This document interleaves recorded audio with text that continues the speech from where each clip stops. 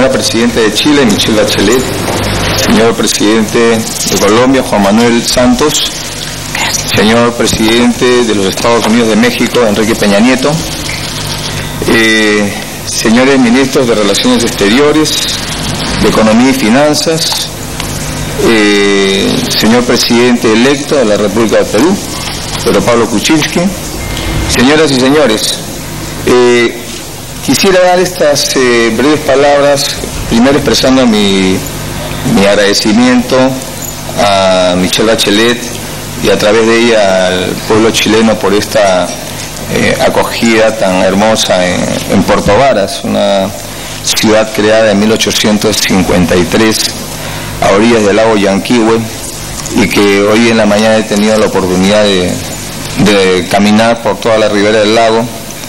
Claro, claro, creando un problema en el tráfico porque temprano ya hay mucho movimiento vehicular, eh, pero apreciando eh, la belleza de esta ciudad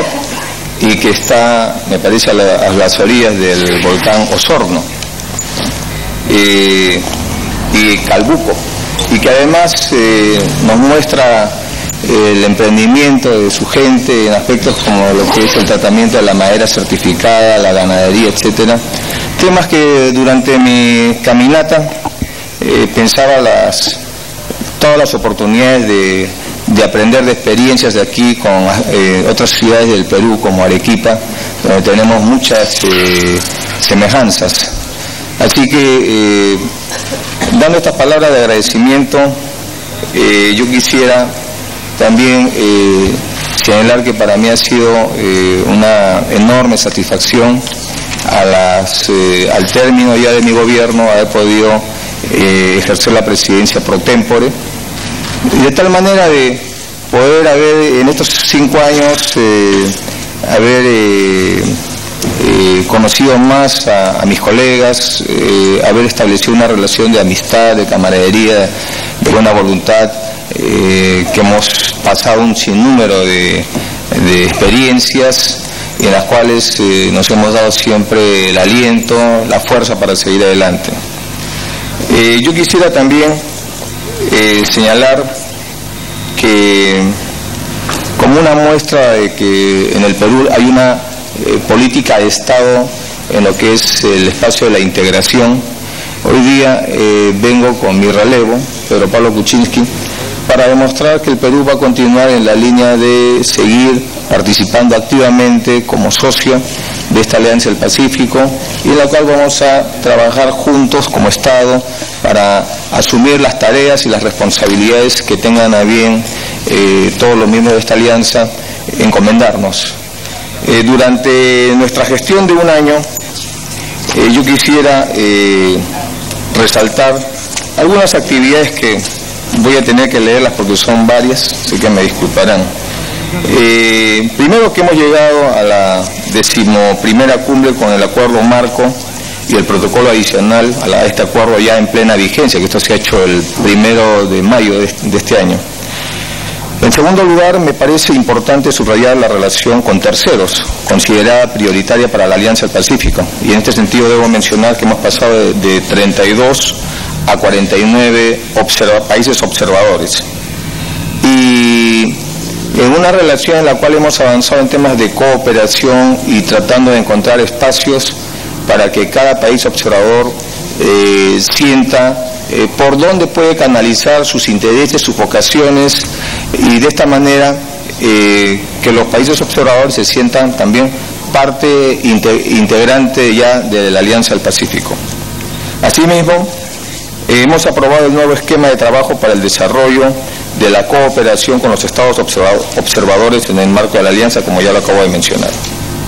Eh, asimismo, se ha establecido un sistema dual en la generación de la cooperación y el foro de cooperación que le tocará ahora, a partir de ahora, a Chile a implementar. Para ello, debo felicitar a, Chile y congratularnos por este éxito eh, ministerial eh, con estados observadores celebrados anteayer bajo este nuevo formato. Asimismo, eh, también eh, se han dado importantes avances eh, con dos importantes organizaciones internacionales. En primer término, contamos con un marco preliminar de cooperación con la Asociación de Naciones del Sudeste Asiático, ASEAN, producto de la segunda reunión de ministros de la Alianza del Pacífico con la ASEAN y de las dos reuniones técnicas celebradas en Yakarta y Bangkok, que han permitido afinar el marco general de la cooperación con este espacio prioritario Asia-Pacífico. Y esperamos que la Alianza del Pacífico coseche sus frutos bajo la presidencia chilena en la oportunidad de la reunión de ministros que se dará en, en las fechas de la Asamblea General de Naciones Unidas en Nueva York en septiembre de este año. En este mismo contexto eh, quisiera destacar el diálogo informal sostenido entre la Alianza del Pacífico y APEC el 18 de noviembre del año 2015, donde tuvimos en Manila, donde tuvimos el honor de contar con Juan Manuel también, y así como la reciente suscripción de la Declaración Conjunta sobre Asociación entre los países de la Alianza del Pacífico y Canadá, firmada el 8 de junio del año, de este año en la Ciudad de México. La primera que se suscribe con un Estado observador y que establece un marco definido de cooperación con un país que desde sus inicios buscó una aproximación con este bloque importante que es la Alianza del Pacífico. Eh, de igual manera me es muy grato valorar eh, el éxito de la reunión de viceministros de los países de la Alianza del Pacífico y del Mercosur, realizada el 20 de mayo pasado, gracias a la cual contamos hoy con una agenda inicial de trabajo que le corresponderá a la próxima presidencia por tiempo de desarrollar. Asimismo, eh, deseo eh, resaltar los consensos que se han venido trabajando con la Unión Europea en una importante, una importante agenda en las áreas de movilidad de personas, educación, y facilitación del comercio que también se encuentra ya en desarrollo. Deseo también destacar que durante la presidencia por tiempo del Perú logramos ejecutar 21 proyectos de cooperación con 16 estados observadores en diversas áreas tales como educación, desarrollo sostenible, servicios portuarios, innovación, tecnología y agricultura intensiva, industrias creativas, protección del consumidor, pymes, entre otras. Y de igual manera, realzar que por primera vez la Alianza del Pacífico otorgó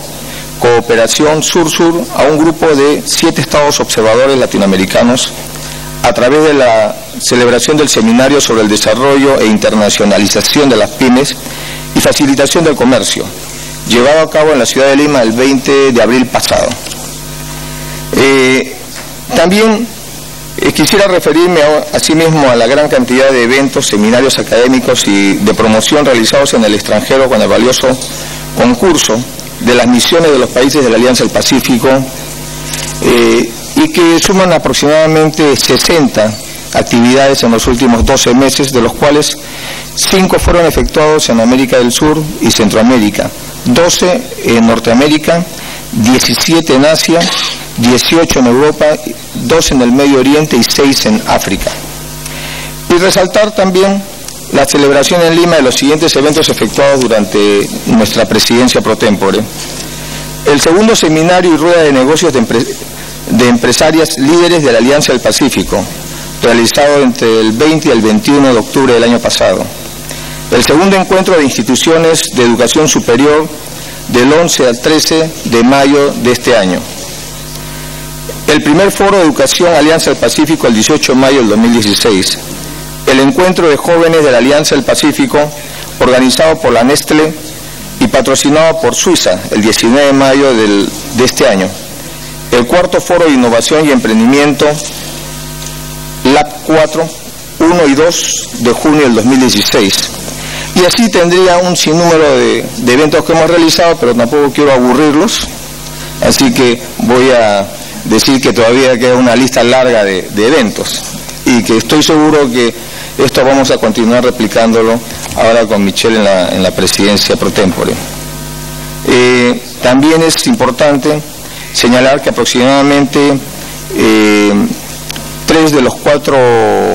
eh, aspectos señalados en la, en la reunión de Paracas se han venido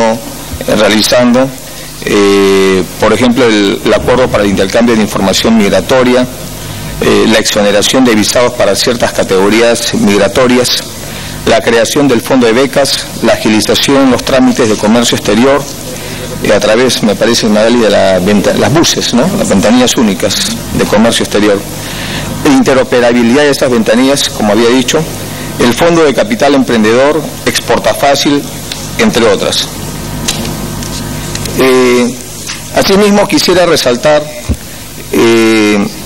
la creación de los grupos técnicos de trabajo de medio ambiente y crecimiento verde y el subgrupo de agenda digital común. Eh, estos son algunos de los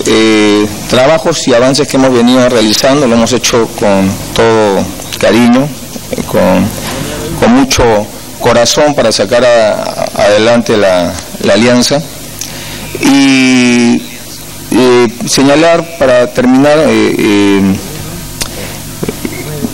que la alianza, eh, si bien hoy día se asume un comportamiento del grupo o el espacio económico, comercial y de cooperación más dinámico de América Latina, eh, tiene, como dije ayer, todavía retos y desafíos hacia adelante. Aspectos que no vamos a poder manejar nosotros, que son las externalidades. la situación eh, internacional nos va a pegar no necesariamente bien. Eh, y yo creo que lo que podemos hacer nosotros es utilizar todas estas herramientas que nos da hoy día el acuerdo marco y el protocolo eh, que sea eh, consecuente a este acuerdo marco y que hoy día eh, no se está todavía utilizando. Estamos en un proceso de, difusión, en un proceso de que los emprendedores, el sector, el sector privado entienda y vea las bondades y facilidades que le dan todo este esfuerzo gubernamental. yo creo que eso nos va a poner en mejor pie frente a las externalidades que se vienen en el futuro. El segundo tema es eh, cómo avanzar en lo que es calidad. Eh, en la Alianza del Pacífico, Chile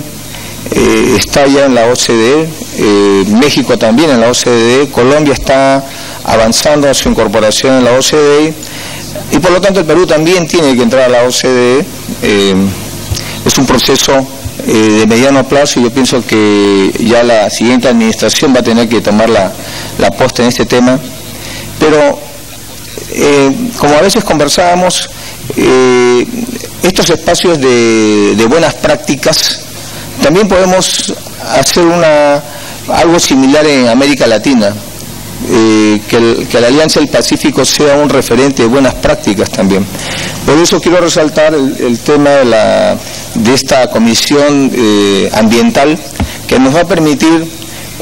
seguir avanzando en un desarrollo sostenible. Y cuando digo buenas prácticas, quisiera eh, remarcar, insistir en el tema de, buscar la construcción de un certificado de, buenas prácticas o de calidad Alianza del Pacífico. Podemos trabajar esto en lo que es el área pedagógica, como lo señalé ayer, eh, poder homologar a través de una entidad eh, supranacional acordada por los cuatro países miembros, de tal manera de poder homologar, certificar a determinadas universidades y, centros superiores tecnológicos que sean reconocidos por los cuatro países. De tal manera que los muchachos que estudian en estos colegios o en estos centros superiores con certificado de Alianza del Pacífico puedan trabajar en cualquiera de, nuestros países sin ningún problema porque está reconocido su título. Y lo mismo podríamos avanzar en lo que es eh, la calidad. Eh, siempre uno de los temas que hemos eh, conversado entre los jefes de Estado ha sido de que hoy día el la principal barrera o impedimento de ingreso a un mercado ya no son los aranceles, sino son las barreras, la calidad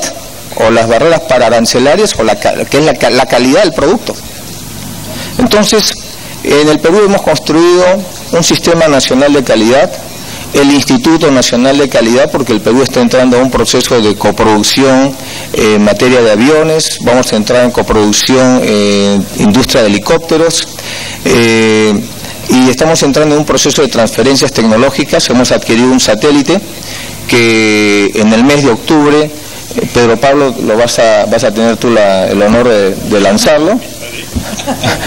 Iremos entonces, ¿no? Pero algo vamos a lanzar en octubre. Algo, no sé, algo o alguien, pero algo vamos a lanzar en octubre. Y entonces, eh, para nosotros el problema es la calidad. Si queremos entrar a un proceso de coproducción y queremos asociarnos, eslabonarnos en las grandes cadenas de producción mundial, lo primero que nos piden es calidad, que el remache, que la tuerca, que eh, los sistemas, los componentes de un, de un equipo tengan una calidad. Entonces, yo propondría trabajar una, una, certificación de calidad, puede ser Alianza del Pacífico y que tenga un reconocimiento supranacional. Para esto eh, nosotros ponemos a disposición eh, este esfuerzo que hemos venido haciendo durante años de la creación de un Instituto Nacional de Calidad y ponerlo a disposición de la Alianza del Pacífico